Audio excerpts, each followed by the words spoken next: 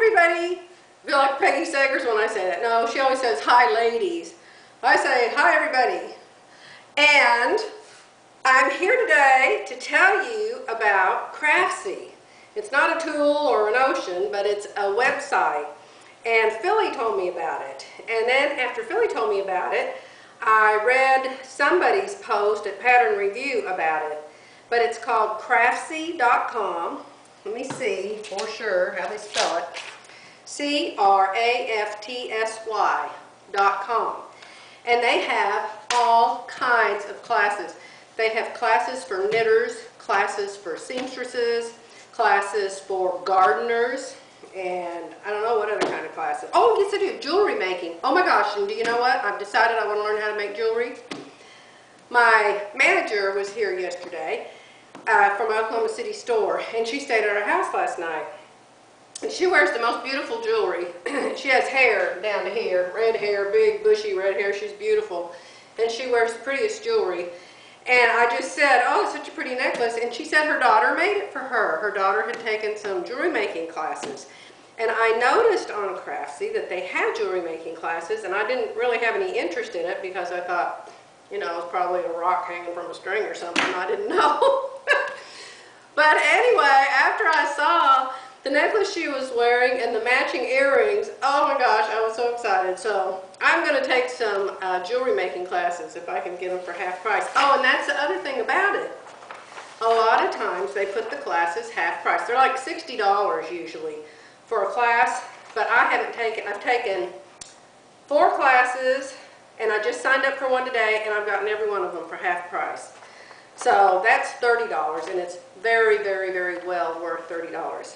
But this is something I had never done before, so I wanted to show it to those of you that haven't done it either so you'll know what you have to do if you take the classes. They, well first of all you need to tape it together better than that. they give you a pattern. And so you have to print the pattern out on your printer. And so then you just get this big stack of papers. I'll post a picture of it on my blog. Get this big stack of papers. And the papers have all of these little triangles on them.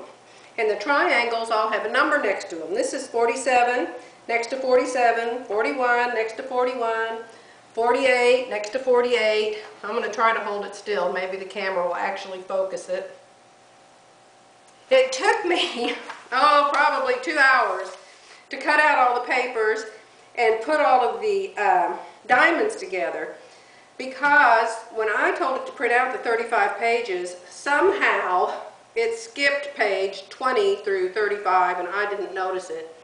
So I had to go back and print those off and at first I thought I was missing just one page, and then I noticed another page. Oh, I'll print that page, and then I noticed another page, and finally it dawned on my lightning fast mind that I was missing all the pages from 20 to 35. So make sure to start with that you have all the pages printed out, or you're not going to be able to find the matching numbers to match up. So anyway, you end up with a real pattern. This is a sleeve. This is the front. Now I haven't decided what size I wear yet. You can see it's even in color. So you can cut your size out by color. I think that is so cool too if you have a color printer. And the class I'm taking, let me see, what's it called? Uh, oh, it's on the pattern. The Sassy Librarian Blouse. And I didn't know at first what that meant, but what it is, is it's a blouse like um, Laura Petrie would have worn. Remember, oh, what was the show she was on with, um, oh, what's his face, the funny guy. It was Robin, Laura, Petrie, I don't remember what the show was called, but anyway, this is the blouse that she would have worn. And then she said somebody else would have worn it too. Who was the other person she said would have worn it? Hmm, can't remember. Anyway, they have so many shows on television now that are from that era. Uh, one of them is called Mad Men. And I just absolutely love the clothes on the girls. Those cute, cute dresses. I remember my mom wearing those dresses, and we wore those dresses when we went to school. When I went to school back in the olden days, the girls had to wear a dress. You didn't wear pants of any sort or jeans, not even for um, sports. You had to wear a dress all the time. So I am really glad that dresses are coming back in. But I just wanted to show you that if you take the class, if you're learning to sew, the, um, there's a teacher, and the classes consist of videos, and it is in such a format that you can watch it anytime, day or night, any month, any week. It's on there forever.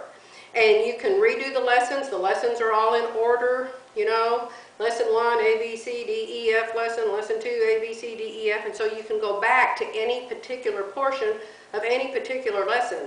And you have access to it forever. They don't say, you know, you can just look at it for six weeks, then too bad, you can't get back in again. You have access.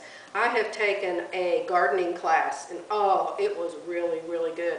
And I am so excited that I have the option of going back, and I didn't have to sit down and write down everything the man said about gardening. I can just go back and watch it again whenever I want to.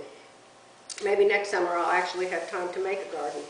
So it's craftsy.com, all kinds of classes.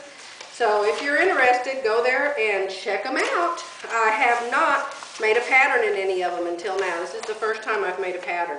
And it's, uh, it's really a cute blouse. It's got pleats all across the front and either uh, sleeveless with the band around the sleeve or a short sleeve.